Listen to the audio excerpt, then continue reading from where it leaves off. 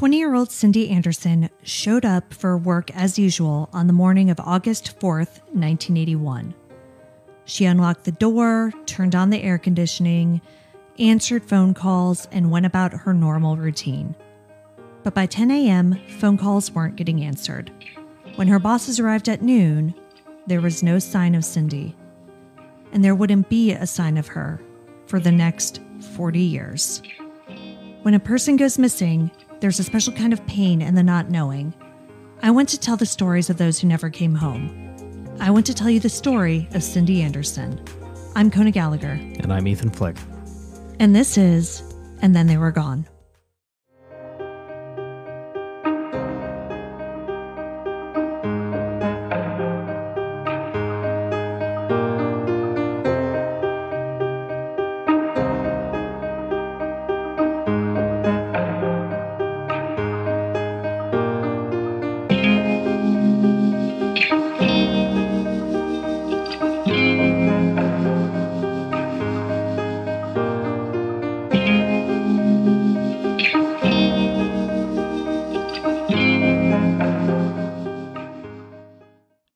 Right, welcome back, everybody. Thank you for joining us for part two of the Cindy Anderson case. So, are you ready? Like you've you've gotten your theories, you've thought about it. You think, as we heard last week, that the person who abducted Cindy was somebody close to her. Oh yeah, definitely. Somebody somebody that's that you know devoted of an employee and that Mhm. like strict by the book person Yeah, doesn't just get up and leave at 10 in the morning you know on her own without some somebody luring her away. You know what I mean? And remember you had said that she used to keep the door locked when she was in the office, correct? correct. So When she was alone, I think she probably kept it unlocked when you know th- there were other people. But yes, she always she was alone. had the door locked, so Door was nobody locked. could walk walk in on her. Right. So whoever it was, again, there's no sign of struggle. Mm-hmm. You know, she put her book down that she was reading, got up, unlocked the door willingly, Mm-hmm. took her purse and her keys, locked the door from the outside, and then left. Broad daylight. I think this is somebody that she knows and is close with. Yeah. And so I think that gives a good, we should pause before we really get into it. Because this week we're going to be talking about the suspects that popped up in the case. But again, you gave a, you know, a pretty good overview of what happened. So just to kind of back up a little bit. And again, this is part two of the Cindy Anderson series. So if you haven't listened to part one, go back to last week's episode and do that first. But Cindy Anderson was a 20 year old legal secretary in Toledo, Ohio. She actually lived just over the border in Michigan, about 10 miles away. And she lived with her parents still. So she was one of four children, and they were a very strict Christian fundamentalist family. So Cindy had obviously graduated high school, you know, a few years prior, um, and had gotten this job at the law firm, but had just put in her two weeks' notice when this happened, which was August 4th, 1981. And she was going to go about 70 miles away to attend Bible college. Uh, I think it was near Detroit uh, with her boyfriend, Jeff. So she was getting ready to start this like new chapter in her life. She had this boyfriend. She had a lot of friends. She was very well liked. By all accounts, there wasn't anything going on in her personal life that was causing her trouble. Just uh, kind of more peripheral weirdness happening.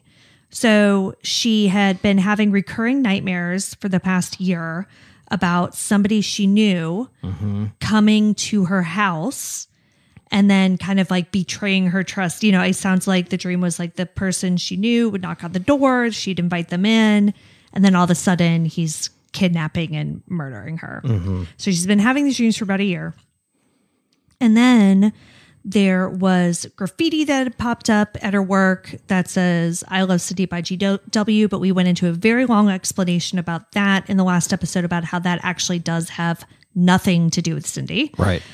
Um, but you know, at the time she didn't know that. She thought it was, so it kind of creeped her out. So it is still somewhat relevant to mention. But then, more disturbingly, she had been receiving prank calls or some sort of disturbing phone call. We don't know at all what was said. Um, police were never able to actually trace these calls and find out where they were coming from. Um, but they were so disturbing that a client of the law office who was there when she received two of these calls was so concerned for her safety that he left and went home and called the police because he was concerned that something was going to happen to her. And that was the day before she disappeared. Mm-hmm. So again, like her family life is okay, like seems okay from what we can what we know. Her friends seem okay, like she has this boyfriend that seems okay, but she has these weird disturbing things happening in her life that she doesn't have an explanation for. And that's where we are. Yeah, so that is where we are. And like I said, so Cindy goes missing. There aren't like a lot of clues. They don't think that she ran off because her she had a, a apparently a substantial amount of money in her bank account. Oh. Yeah, so I guess maybe she was saving up for for college or mm-hmm. whatever. But again, she worked full time and she lived at home, so she did have this brand new car. But other than that, I mean, she could probably save a lot of her money. Yeah. So I don't know how much it was, but her father did say it was substantial. So she had this substantial amount of money that she had been saving up and remained untouched in her bank account. I'm too suspicious and I'm too hung up on the father. And I don't want to keep. What is so does what does the bank account have to do with What happened to the money? it stayed there. So it stayed there. And not only that, her parents had been also, I guess, putting money aside for her to go to school. Mm-hmm. And for years, they did not have her legally declared dead because, you know, they just didn't want to believe that she was dead. And in order to free up that money, they would have had to have done that, but they never did. Okay. All right. So that to me pretty much rules out the father then. Not to say that the only motivation behind something like this would be money, but Yeah. if he's if he's bringing up in this unsolved mysteries episode that it was a substantial amount of money, Mm-hmm. I mean, that's that's motive. yeah. Yeah. For sure. but sure. if they didn't touch it, then No, it doesn't isn't the sound. motive. Yeah, it doesn't sound like they did. It is interesting because in another one of our cases, Cherry Mahan, um, her mother, who is still very actively searching for her 30 plus years later, um, did have her declared dead so that she could access some money that um, Cherry had gotten in a court settlement. And she actually used that for her son you know, for his college education. So, you know, you do have these situations where the whole do we declare them legally dead, do we not, is a very difficult situation that the family has to make. And I don't necessarily think that that decision indicates one way or another if they had anything to do with it. Yeah. So, where we left off was in 1982. It's about a year um, after, a little less than a year after Cindy's disappearance. And the case is pretty much cold at this point. You know, they just don't have any physical evidence. They have no idea where she is. All they know is that they don't think she ran off, but that's really all they've got. But then, in what seems like a completely unrelated situation, two men get arrested in Toledo in 1982. We talked in the first episode about how Toledo wasn't exactly the safest place in the world in 1981. And it goes beyond the drugs and even the murders that I've already mentioned. There were also two active serial killers working in Toledo at the time. Mm.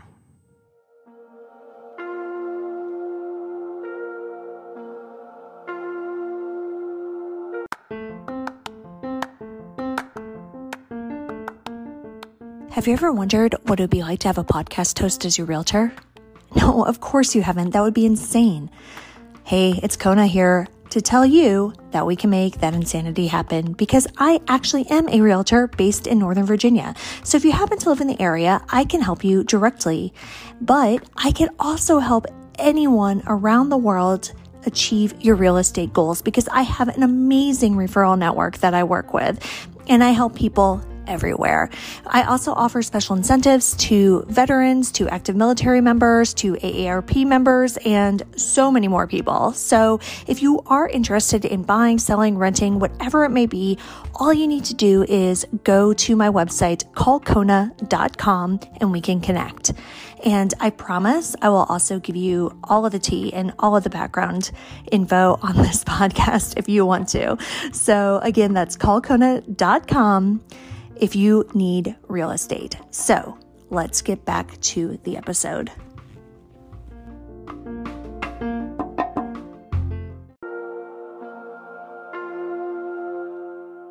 Beginning in 1980, bodies started turning up. Sandra Podgorski and her boyfriend Thomas Gordon were abducted off the street. They were driven to a second location, and when Thomas tried to escape, he was shot to death. Sandra was raped and stabbed multiple times, but she survived her attack. She told her authorities that her attackers were two black men. Eight months later, the body of Connie Thompson was discovered. She had been raped and stabbed over 40 times.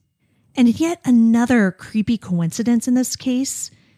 In 1981, a woman named Cheryl Bartlett had been plagued by recurring nightmares. In some, she was shot, and in others, she was shot and raped. And these dreams were really starting to bother her to the point where she didn't like to ha- leave the house alone. But one night, she walked to meet her boyfriend, Bud Coates, after he got off of work at Kroger. And this whole time, when she was going, like she had a sinking feeling in the pit of her stomach, like something bad was going to happen. And then it did. As the two were walking back, they were accosted by a gunman who demanded money. And then another man came, and the two of them abducted the pair. They raped Cheryl and shot her in the back, but she survived. Because she was able to give information to the police, and then they were able to, you know, later do DNA and all these things. But after about 16 months, the reign of terror in Toledo ended and a pair of brothers named Anthony and Nathaniel Cook were arrested, but not before killing at least 10 people and assaulting many others. One of their victims was a 12 year old girl named Dawn Bax. She was abducted, taken to an abandoned theater, and raped. They then murdered her by repeatedly dropping a cinder block on her head. Jesus. Yeah. I mean, so these were absolutely brutal, brutal crimes. I mean, stabbed over 40 times, Yeah. you know, and brazen too, like abducting couples, you Yeah. know, and uh like abducting just people in the middle of the street and complete stranger like it's just crazy. And this went on again like through 1980 81 and then luckily they were you know they were arrested. After the arrest police started to look at the cook brothers for multiple unsolved homicides disappearances rapes you know everything including cindy's. After all she had disappeared from the same area and in the same time that the brothers were operating.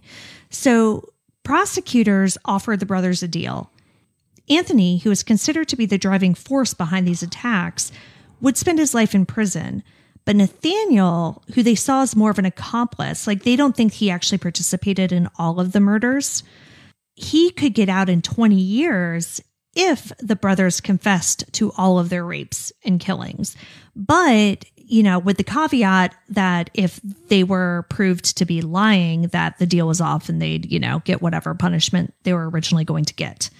So the police consulted with some of the victims and their families, and they decided to go ahead with this deal. And the police brought several cases to the brothers, like I said, including Cindy's. And so they kind of went through them and, you know, they taped this whole thing. But they denied having a hand in most of these cases that were brought to them, but they did admit to murdering a woman named Vicky Small all the way back in 1973. Hmm. But they denied having anything to do with Cindy's disappearance. I mean, if they're copying to other murders, why wouldn't they admit to killing Cindy if they did? Right. And You that's, know? yeah. And that's a very good point. But because, yeah, on one hand, why lie at that point at all? But on the other hand, one of the cases that police think the brothers perpetrated was the murder of 19 year old Michelle Hoffman. Investigators believe that the Cook brothers refused to admit to that one because Michelle was the niece of a Toledo detective named Tom Ross. And their theory is that the brothers thought they would have a more difficult time in prison if they admitted to killing a police officer's relative. And not that Cindy was a police officer's relative or anything like that, but police do think that they aren't copying to all of the murders. And the other thing is, so they admitted to this one mid- murder, Vicky Small, in 1973, and then committed 10 plus murders between 1980 and 1981 in the 16 month period. So, like, we're, I guess, supposed to believe that they were totally above board between 1973 and 1980. Right. Yeah. I mean, we've talked about it uh, in previous cases. That's that's not it's not the way serial killers operate Right. typically, un unless there's some dramatic change in their life uh, where they take a few years off or whatever. Um, but they also typically don't start out as brutal Right. as that without some sort of escalation. Right. So if their first murder that they admitted to was in 73, I've got to think there are many rapes before that. Previous to that, yes, and And who knows if they were even ever reported. So, Right. I mean, they might not even be on the books as unsolved. So, there's probably that. Mhm. And then I have to imagine, again, because of the number of attacks and the absolute brutality of the attacks in 80 and 81, I just don't see that starting out of thin air. Right. Yeah. And You that's know. what that's where I was going with this escalation aspect of of how so, serial killers operate. They probably did all kinds of terrible stuff Mm-hmm. in between the those those two cases and for whatever reason they're not copping to it. Yeah, I don't know. This just it bothers me, you know, because on one hand, I do think you're right about, you know, it probably being somebody Cindy knew because, you know, how else would they have gotten her out of there? We should also mention like these brothers are huge. Like Nathaniel, the one who um, got less time in prison, was like six five and close to 400 pounds. Oh wow. Yeah, I mean, just a giant, imposing person, Yeah. right? And with Cindy being as paranoid as she was, like, I don't think she would just randomly let people in that she didn't know to the office, right? So the only way I think it would make sense for the brothers to have gotten a hold of her is if, like, she had already left for another reason Right. and they snatched her outside of the office. But then it goes back to your question from last week, which is why would she had voluntarily left the office at 10 a.m.? Right. You know, because that doesn't sound like something that she would do. And so then how does that timing work out if that's not her normal routine? And, you know, did they just happen to be there? And, and in a lot of these cases that they did perpetrate, like it really was the victims were just in the wrong place at the wrong time. So I can kind of see that happening. It's just it's it's really I don't feel completely comfortable a hundred percent ruling them out. Well, I mean, you can't 100% rule them out Yeah. because this does fit their MO, Right. but they never hit any of the other bodies. Yeah, and that was another thing that bothered me too, that these bodies were found. Presumably, right? Maybe hmm. they did hide some and they just never got attributed to them. Like, who knows? Like, maybe they murdered somebody else and hid them, and family just thought that they ran off and started a new life. Like, I just don't know. Yeah, I, I mean, but why hide some and not others? No, it, yeah. And that is a very good point. You're right. I mean, because it does sound like the bodies were found relatively easily by passersby, you know, not by like people who are doing a concerted search trying to find a body. But while they were the first viable suspects in Cindy's disappearance, they weren't the last. In 1995, a long running drug ring was busted up by federal authorities. Nine people were indicted by a federal grand jury. Now, you know, Cindy had never done drugs. She was never uh, involved in drug dealing or anything illicit at all. So, who cares about a drug ring in which nine people were indicted? Well, I would imagine you're about to tell us. Well, two of the people indicted in this case were Jose Rodriguez Jr. and Richard Neller. Now, it's been a while, but do you remember the name of the law firm where Cindy worked? no. The Neller and Rabbit Legal Center. Ah, interesting. Richard Neller was one of Cindy's bosses, Hmm. and Jose Rodriguez was his client. Okay. So Cindy's boss was a drug kingpin. Basically, the way that this story went is that Jose Rodriguez was Neller's client and, you know, was a drug trafficker. Um, and, you know, had obviously got arrested a bunch, right? So he had a lawyer. And what ended up happening was that Neller kind of started advising Jose on how to run his business and not get caught, basically. And he would like tamper with witnesses. And I mean, it was basically like a movie mob lawyer is is really I mean, it just it's it's so crazy. But yeah, he just started working with his client and started like trafficking drugs. Okay, so that gets us to drugs, and yes, of course, there's violence associated with drugs. Mm-hmm. But what would be the motivation to kidnap and or kill Cindy? Well, there have been a couple of theories that I saw on this. The first one that I read is that Rodriguez and Neller had a falling out because I guess, you know, like Rodriguez ended up serving some jail time and blamed Neller for that, right? You know, he's his lawyer and Sure. business partner. And if Rodriguez went down, like, you know, he kind of had a grudge against Neller for that. Um, so the theory was that he murdered Cindy to send a message. I guess my my issue with that is if you're if you're going to kill somebody to send a message, why wouldn't you leave the body somewhere? Right. And that's what police said. They're like, it's not a very good message if Yeah. we don't know where she is. Yeah, you know? exactly. Like I, I just that was like I said, the theory, but that was the problem with it. Because typically in these situations, you know, you leave the message on the door, you know, you leave the body on the doorstep or or something like that. Or yeah, kill her in the office. Right. Or, and also, it's like, I don't, you know, not to be rude, but like, she's a secretary. Like, I have to think that maybe there was somebody closer to Neller that they maybe could have gone to if they really were just trying to send a message. That yeah, that just doesn't fit with me. Yeah. It doesn't fit with me either. And so that like I said that was the first version of this that I read.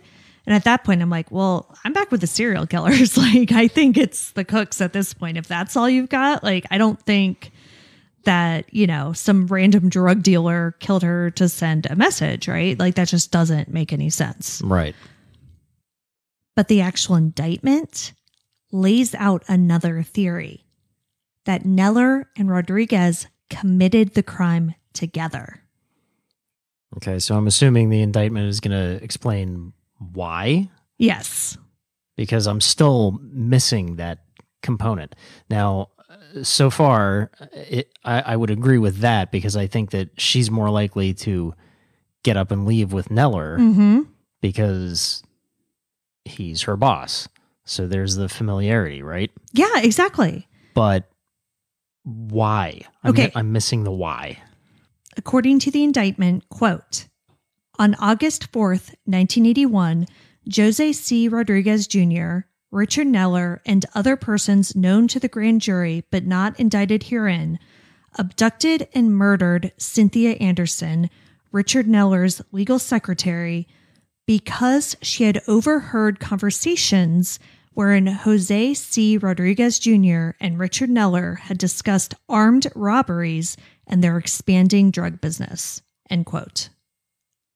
Where are they getting that from? Like, what is, is there any An informant. evidence? Okay. Yeah, so apparently this came from an informant who says that Rodriguez admitted murdering Cindy to him. Is this a jailhouse snitch? Yes. Oh, okay. so there's inherent problems with that. Yes. There are inherent problems with that. And that did show up. I mean, and his testimony was deemed to not be credible. But out of all of the theories, this one does make the most sense to me because, again, like, all right, so going back to Rodriguez committing this murder on his own, like beyond the fact that we what we just covered, which is that it doesn't send a message at all and it doesn't make sense. Cindy would not have willingly gone with some skeevy drug dealer client, right? I mean, she presumably knew him, Right. but wouldn't have trusted him in any way, I'm sure Yeah. you know, would not have willingly gone with him. And if he were the one responsible for this, or if he and one of the, you know, as they say in the indictment, like a person known to the grand jury but not indicted herein, if, you know, Rodriguez and one or more of those people had come in to forcibly take Cindy, you just would have seen signs of that Right. but there weren't as we've been over. So I just don't think so. But like you said, if it was her boss who came in with or without this client, like, you know, Rodriguez didn't have to physically be there at that point, Sure. right? It could have just been Neller. And he could have just come in and said, like, hey, Cindy, I need you for X, Y, or Z. And Cindy, being the obedient, conscientious person that she is, would have no reason to not go with Neller. And either she would have locked the door behind her or he would have. Right. And there wouldn't have been any sign of a struggle. And there wouldn't have been any reason for her to take anything except for her purse and her keys. You know, she left her book face down on her desk because she thought she was going to be back. She didn't take any more money out of her account because why would she need it? She didn't pack any clothes. She didn't take her makeup because why would she? It was just a normal day at work. So the jailhouse snitch was deemed to be not credible. Mm-hmm. So we're still back with the why. Okay, but even if the jailhouse snitch wasn't credible, and maybe he wasn't credible because maybe Jose Rodriguez didn't confess this, right? Because why would he? Like these jailhouse confessions drive me crazy. I mean, I just have a hard time believing that people are that dumb, especially Jose Rodriguez, who is such a career criminal, by the way, that um, one of the nine people who were indicted in this was Jose Rodriguez the third. And since he's Jose Rodriguez Jr., I have to imagine that that's his son. Mm. So Rodriguez is doing this with his son. And by the way, while I was trying to find more information on what happened to Rodriguez after this, um, you know, I Googled his name, which was kind of tough because Jose Rodriguez is a pretty common name Yes. but I did see another mention of a a Toledo area man named Jose Rodriguez III who was just busted in another major drug trafficking operation just a few years ago. Anyway, my point is is that this guy has clearly been around the block a time or two. So, yes, I do find it hard to believe that he would be dumb enough to just admit to kidnapping and murder while he's sitting in jail waiting for a drug trial. However, to me, that doesn't mean that this didn't happen. I don't think that he confessed to it, but I think that this very well could be a reasonable explanation. You know, like if Neller, who was a well liked and well respected member of the community, very popular. I mean, he had everything going for him. And if he thought that Miss Dugard over here heard something she wasn't supposed to, and her father, Michael Anderson, even told um, reporters in 95 after this whole thing was kind of, you know, brought up, he told reporters, he's like, yeah, if Cindy had heard anything, if she knew that her boss was trafficking drugs, she absolutely would have told the police. Like that's not a, a secret she would have kept because her moral compass was such that she couldn't. Okay. uh, well, I mean, I see, I see your points. Um, if that were the case, but if if she had such a strong moral compass and overheard something, you know, th- this doesn't seem like if, if this is the running theory, Mm-hmm. it doesn't seem like this was something that happened spontaneously. The the kidnapping and murder, like this was planned. They planned something, Mm-hmm. right? So why wouldn't she have already gone to the police?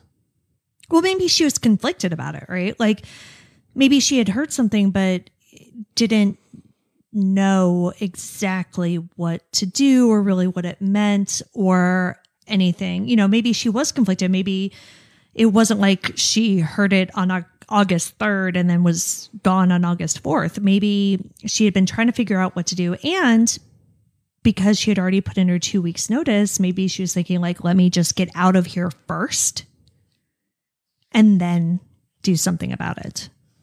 Yeah, maybe. See, it- because like I thought you would have been all over this theory because you said that, you know, you thought from the beginning that it was somebody that she knew. Yeah, uh, but I guess my problem with it is that it just seems like a reach. Does it seem more of a reach than anything else though? No, but I, I'm just not. I'm not 100 percent sold on it Yeah. because you know, again, we're we're talking about a, a- jailhouse informant. I- I don't. I don't know. I mean, yes, all the pieces fit more neatly, Mm-hmm. but I just feel like if if she had heard something she wasn't supposed to, Mm-hmm. given how she was, I feel like she would have either gone to the police or if she w- or or if she was so afraid that she's locking the front door that she wouldn't have stayed there. Like she's already given her 2 weeks. Yeah. So this is not a career. Mm-hmm. You know, she's going into college. She's terrified because she's having these dreams. Right? Mm-hmm. And like I said, she's locking the door behind her because she doesn't want to be alone in the office. Why does she stay? A sense of duty. And then if and then if she's scared and Neller shows up, yes, her boss, but if she overheard something and she knows Neller's implicated, does she open why does she open the door? because he's her boss. Like he, she has to open the door. Like that's literally a part of her daily routine. Is the bosses come, she opens the door, they go to work. All right, so where was Neller around that time frame then? I don't know. And so that's the frustrating part about this because aside from this indictment and then, you know, the witness being claimed not credible, I don't know how deeply the police actually dug into this after that. Like I I couldn't find anything about him being interviewed about this. I couldn't find anything about Rodriguez being interviewed about this past this whole, you know, grand jury mm-hmm. situation. So I don't know. I don't know what his alibi is. Like, I don't know where he was or wasn't around that time. The only additional information that I have about this is that police, and whether this is based on that informant or something else, did believe that they really knew what happened to Cindy. Like it seemed like they really kind of specifically said, okay, this is what happened because they thought too that she knew where she was buried. And so right after this whole thing happened, they started new searches for Cindy. The place that they started searching was this pond in Perrysburg, which is a Toledo suburb. And I think that's Perrysburg is actually where Rodriguez lived because when I found that other article about the man who I think is his son, it said that he was a Perrysburg resident. I don't know. So they started looking around this pond in Perrysburg. Michael Anderson, her father, said that police told him that that's where they thought she was. But when they did that search, they didn't uncover anything. Interesting. Yeah. So, what I kind of think is that this is one of those situations where because they didn't find Cindy when they did that search, that's why we haven't seen any arrests or anything in this because at this point they still don't have any physical evidence. They have a theory of a crime that's bolstered by nothing. Right. And I guess that's the reason why I have a problem with it Yeah, bec- because it, it is bolstered by nothing. right. It's okay. So they have her boss being involved with drugs, hmm but uh, again, this it's it's a theory at this point. There's no, there's no solid connection saying that because he was involved with drugs that he kidnapped and killed his secretary. Right. So But- that's the problem that I'm having with it. Not that I want to bring up the Kristin Smart case in every episode, but that's what we had for over 20 years in her case was this theory that Paul Flores took her and killed her and buried her with no physical evidence to back it up. We had a theory of a case for decades. And then we finally got the physical evidence to back it up and now we have two arrests. Yeah, so I mean, that's I true. That's true. unfortunately, I, am think- not. I'm not knocking the cops, and I'm not knocking No, the, yeah. the the pursuit of of this. But I just, I, again, it's it's a theory that is Mhm. not backed up by anything. Right. And you're absolutely right. And so, unfortunately, because we have no physical evidence, no DNA, nothing, this probably won't go anywhere unless we can find some physical trace of Cindy. Right. Or, you know, we can get whoever is involved, whether it's Neller, whether it's Rodriguez, whether it's whoever, to talk. And they do have some leverage here, police, because Neller, not so much with Neller. So, Well, he's a lawyer. I mean, yeah, both men, well, not anymore. Um, both men were convicted of many felonies related to this whole drug trafficking scheme. Neller was sentenced to 70 months in prison and he was released in 2001. After his release, he lived in a halfway house and worked for a time as a paralegal. And so during this whole thing, like when he was convicted of these felonies, the uh, Ohio State Bar suspended his law license indefinitely. And then after he was released and he was working as a paralegal, like he tried to get it reinstated basically. Um, and he had like all these character witnesses talking about how great he was and how he was like a great activist for the Hispanic community and and he was well respected. by getting them involved in drugs. well, yeah. Um, I, I thought that was funny too. But it, anyway, so um, it didn't work, and Neller was officially disbarred in 2003. But I have not heard a single word about what happened to Neller after 2003 And I'm really interested in that. I want to know what happened to that guy. Um, I do know what happened to Rodriguez. He is still in jail, in prison, rather, because he was sentenced to 465 months in prison. Okay. And I had Alexa tell me how many years that Yeah, was. I don't know It's either. like 38 and a half. 38 and a half. Uh-huh. Okay. Yeah. So quite a while. But like I said, his son, who was also indicted, is like, he was uh, sentenced to like 64 months or something like that. And so he was out and now, but he's back because of this other drug trafficking uh, scheme. So to me, I mean, Rodriguez has a very long sentence. The other Rodriguez, who may or may not be involved in this whole Cindy thing, but was involved in the original drug trafficking scheme, you know, he's now facing, I think, a pretty long sentence. So to me, there might be a little something for the police to work with there, right? Like maybe a little reduction in this drug sentence if we can bring, Cindy home. yeah. Yeah. But I, again, I don't know if that's an avenue that's being explored in any way, or if after that indictment kind of fizzled out on the Cindy front, if the whole investigation fizzled out.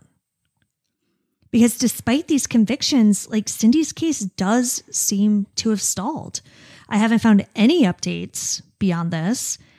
I don't know if police did any searches after the one by the pond in Perrysburg, or if, like I mentioned before, if they've tried to re interview either of these men or, you know, Rodriguez's son or any of the other nine who are involved in this criminal conspiracy. Both of Cindy's parents passed away without having any answers either. Her mother, Margaret, died just two years later in 1983 of cancer. And so that's why, like, all these articles that I was reading, you know, were just with her father. Um, it- but he also passed away in 2008. He spent many, many years just hoping that Cindy was out there alive somewhere. You know, we mentioned him not having her legally declared dead. You know, he said in that Unsolved Mysteries episode that he thinks, well, maybe she's out there living somewhere with amnesia and she'll just call me one day and say, I remember and I'm coming home. But by the time he passed in 2008, it seems that he had come to the conclusion that his daughter was not alive anymore. His obituary read in part, quote, Mike was also preceded in death by his daughter, Cynthia Anderson, end quote. With both of her parents gone, it's unclear if the remaining Anderson family will ever get answers or ever get justice for the beloved sister. So for now, Cindy remains out there and her killer or killers continue to elude punishment.